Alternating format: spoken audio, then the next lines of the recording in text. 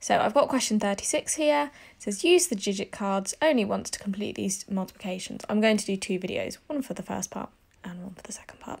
So if I look here, out of these numbers I've got, you need to decide a number that you're going to multiply a fraction by and it will then equal another fraction. I am going to choose the 2 to multiply with, so I'm going to write my 2 here. I'm going to multiply it. When I'm looking at the other numbers that I have, whatever way that I put the numbers together, they're not, if I times any of them by 2, they wouldn't necessarily equal the fraction because 9 is quite an awkward number to actually multiply, especially by 2. So what I'm thinking here is I'm actually going to have to have an improper fraction. So if I were to take the 3 and the 4, I'd have 3 quarters, and I'd write my equals, and I just want you to think, what digits do we have left? So you can do this at the same time as me. And how am I going to write it as an improper fraction? I have 6 and 9, but the 6 isn't going to be my numerator, otherwise it wouldn't be an improper fraction. So it would look a bit like this. Now, with this question, you're probably thinking, well, they don't equal each other, okay? Looking at it like this, it doesn't look like they do, but we need to find the lowest common denominator because um, traditionally, if it was 8, yes, the 4 would fit into the 8, but the 6 wouldn't. So we need to find the lowest common denominator that they both um, equally go into. So what I want you to think about is what would the lowest common denominator be?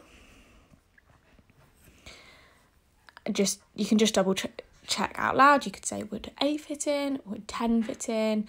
What about 12? Well, we know that 12 is in the 4 times table and the 6 times table. So if I were to have 12, I'm just going to put my denominator underneath. I have this equals here. And I want to think, how have I got from my 4 to 12? Well, I've had to times it by 3. Okay, so that whatever you do to your denominator, you have to do to your numerator too. So I'm going to times that by 3, 2. So that would leave me with 9. Then, if I do the same here, whatever I do to my denominator, I do to my numerator as well. So I times that by 2, because uh, 6 times 2 is 12.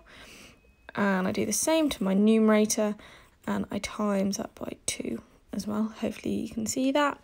9 times 2 would be 18. So actually, if you look here, I can make it a bit clearer. 2 times 9 over 12 is equal to 18 over 12. That is really tricky though, and is actually thinking slightly outside the box that is going to be an improper fraction.